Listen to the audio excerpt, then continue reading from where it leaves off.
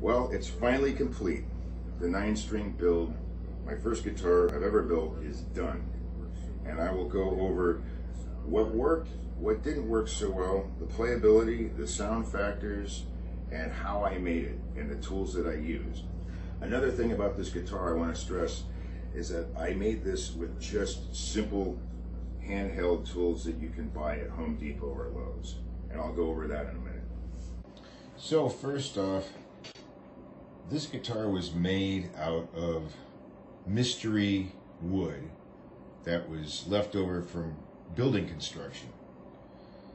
So right away, this is not a tone wood guitar or anything like that. I'm just showing that it doesn't really matter what the wood you make your guitar out of is. Uh, so I'm using all of my clamps. I'm in the middle of clamping this thing up in this shot. This next shot, the reason why I like this piece of wood so much is that you can see the grain goes with like the curvature of the actual neck itself. So it, it is a really strong piece of wood when it comes to the grain going the way I want it to. Right there, I almost destroyed the guitar. As you can see, there's some cuts that are very far in, much farther in than they need to be. Um, right here, but luckily I salvaged it. Wasn't too far in. Right here I've got uh, everything clamped up and I'm keeping the neck in the uh, the fretboard in place with some little tack nails through the uh, fret slots. Also, you can see that I got these notches cut out the bottom. Later, I chipped those little notches out with a mallet and a, a chisel. But before I do that, I install the frets, and it was really easy. I just took a nice smooth hammer without any dents in it and very carefully tapped these suckers in. Used some liquid nails glue and uh, worked out really well. And the next shot you're going to see is the carve and that was pretty much just all rasping by hand. I got line markers and um, I'm, I'm looking at other YouTube videos where they're, they're, they're marking the, uh, the how they're going to uh, carve off the radius and you just keep going and going until you have a smoother, smoother, less faceted uh, neck and then you sand it down from there.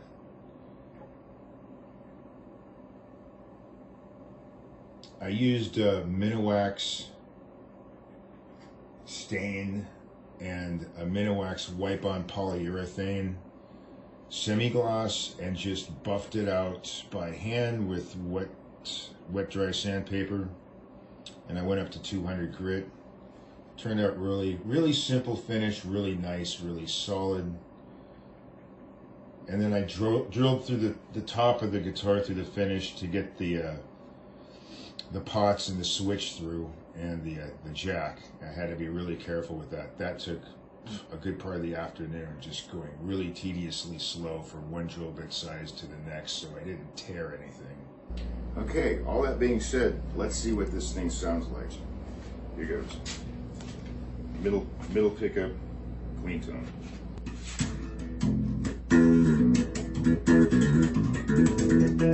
Thank you. Thank you.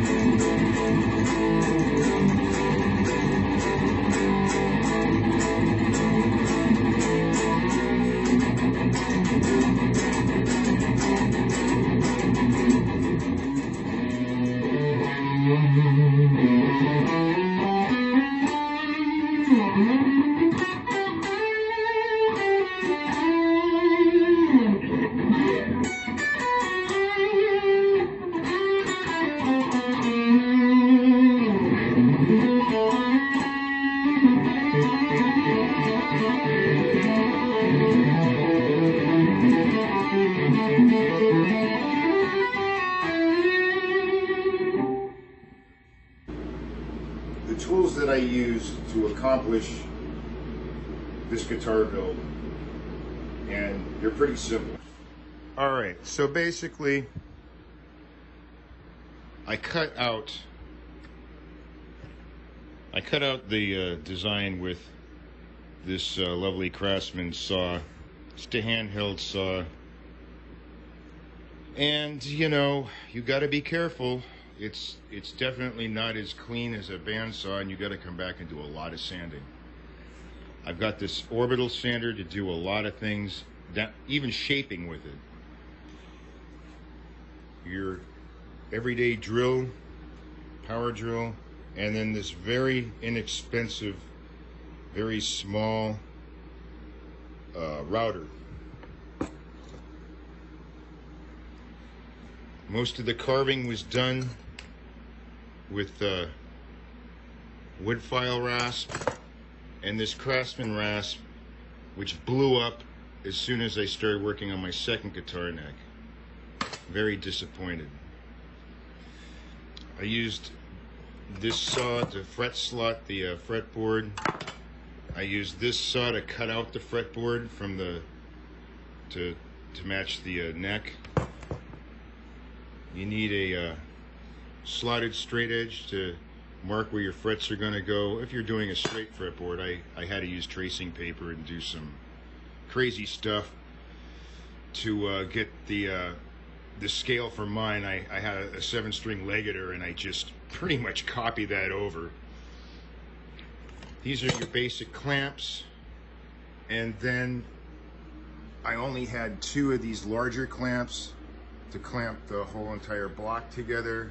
So it was crazy. But that's pretty much it, not counting the, the fretting tools. Or I mean, one cutter to cut the frets, this fret file, and um, if you put your frets in good enough, you don't even have to really level and crown them, and I, I didn't have to do that. I just had to do a little bit of spot uh, All right, now that you've seen my uh, process for doing this, I will talk about what worked and what didn't. Uh, now, first thing off the bat, I measured everything over and over and over again. I had a whole year to do this and double check things, but I missed one very big aspect. It's not the end of the world for me, but it's kind of annoying. And the width of the base end of uh, the neck wasn't wide enough to accommodate the ninth string all the way. So once it gets to about the 12th fret, it starts going off the fretboard. And by the time it's into the body, it's, it's off the fretboard. So if you're trying to tap up there or something on the very, very bottom string, it's not going to happen. My uh, first time carving a nut, getting the string spacing right, just knocked it out of the ballpark. I really satisfied with that. Um, since I don't have big saws or anything, I didn't do a skunk joint. This is all one piece going all through the body, the entire board. So I did it more like a Fender style. And um, that's going to be the, the way I'm going to work. So we're building we're building guitars with simple tools from scratch and we're carving them by hand. This isn't one of those channels where we do our first build and we have uh, where we're doing a Fender Strat exactly like a Fender Strat with uh, you know a hundred thousand dollars worth of tools. That's not happening here. We're not doing that. This is different. So anyway, now turning this the other way around.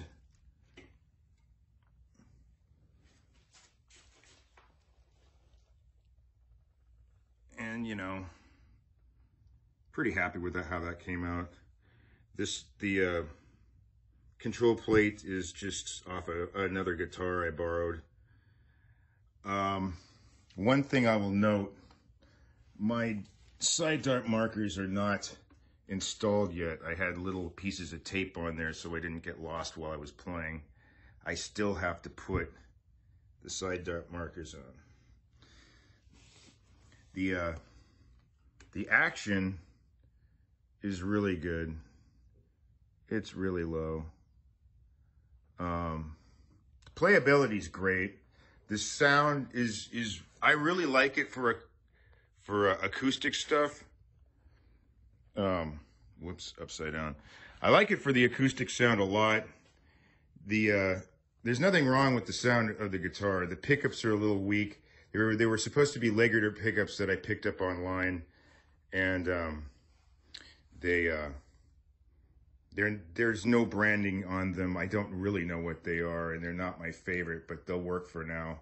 The bridge parts uh, are what I could afford, and they suck. They're just cheapos. As you can tell, they're not like mounted really low to the uh, to the plate. They're up a little high and they're gonna vibrate and they're shit. But aside from that, uh, if if you're willing to adjust them every few days, they work just fine. But a tighter bridge would would be better for for you know tighter picking, better muting. That's where it's getting lost trying to do metal stuff. The, that that bridge is going to have to be a real bridge. Um, I did a flat fretboard because I didn't want to deal with radiusing something this big in this custom. And other people have done it. So I, I, I'm going for it. I'm liking it. I like playing on it a lot. Um, didn't have to do much preparation for it. It was pretty, pretty level. But since the fret cap is very high, it works with this bridge. If I was to put a, uh, if I was to put a larger bridge on, I mean a, a better bridge on, where the uh, parts are more flush to the uh, to the base of it, I, I might have to make a laminate for it to make the bridge sit up a little higher to match the fretboard.